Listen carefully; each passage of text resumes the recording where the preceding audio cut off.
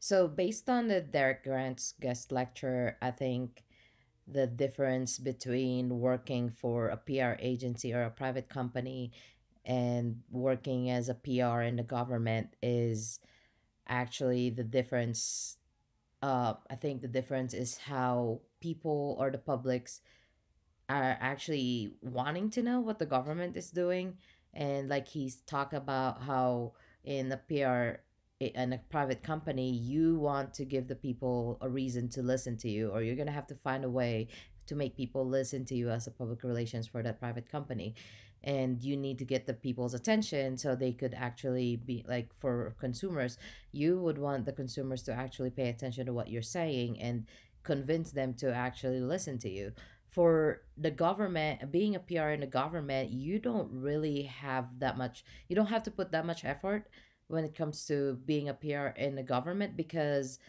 in the government the your publics are the the american population. The po- american population pays taxes and when it comes to government the american population wants to know what the government's doing. So whenever the publics wants to know what the government is doing they would actually pay attention to the information that a public relations person from the government would be saying because what the people wants to know is where is their tax money going? What is the government doing with their tax money? Or how is their tax money being used? So i think that's one thing that makes a big difference in terms of being a public relations for a private company and being a public relation professional in the government because those two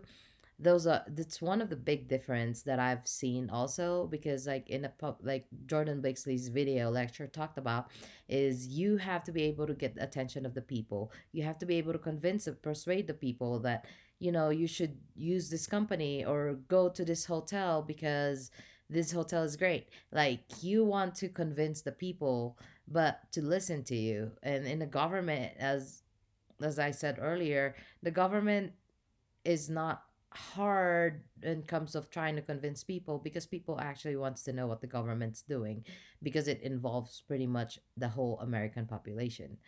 So I think that's um, the big difference as a government communicator versus working as a P- public relations professional in a private company.